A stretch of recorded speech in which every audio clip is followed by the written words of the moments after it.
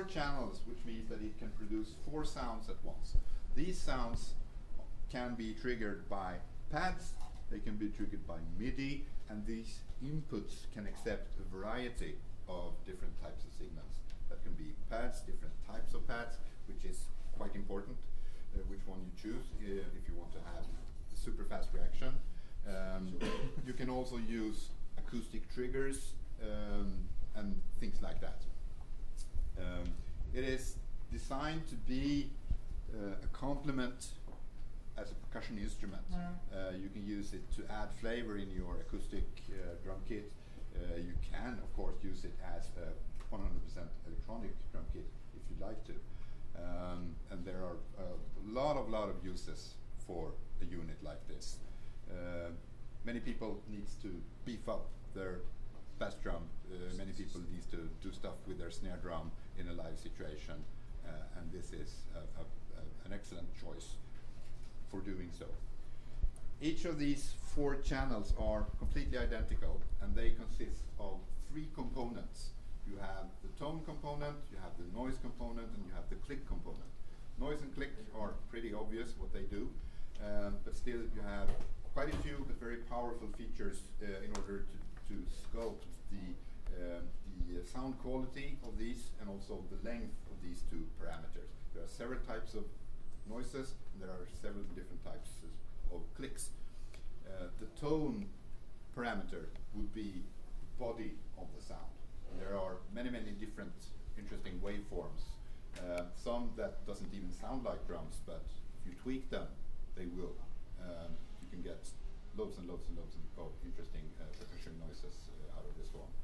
Um, as usual, we have tried to create a very ergonomical and powerful interface, so it should be pretty easy for a user uh, just to get going and, and create their own sounds. Um, I've heard this rumor about drummers and manuals. Is that correct? You Yes. not? Yeah. Yeah. Okay. So um, uh, that's what we thought.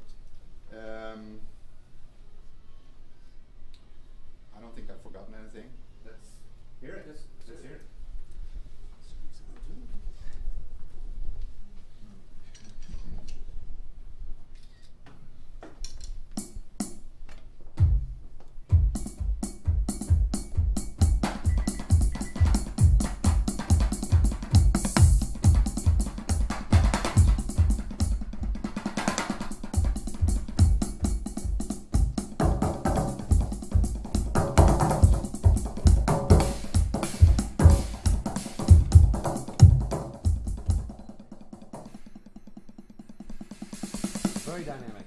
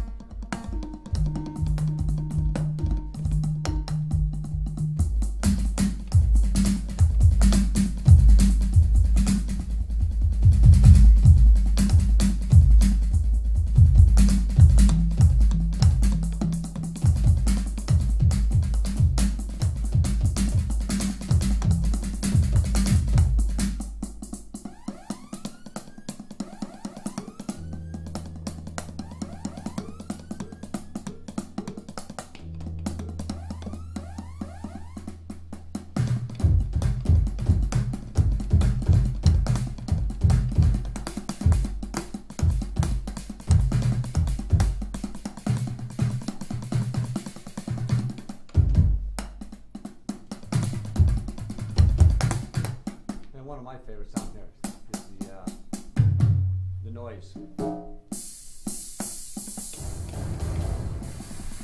Very dynamic, like I said. I've, I've used these with uh, the KAT uh, triggering system, and I use them with the Dauz pads, many different. I have uh, probably four or five different kind of manufacturers at my house, and they all work with it very well. Roland's work very well.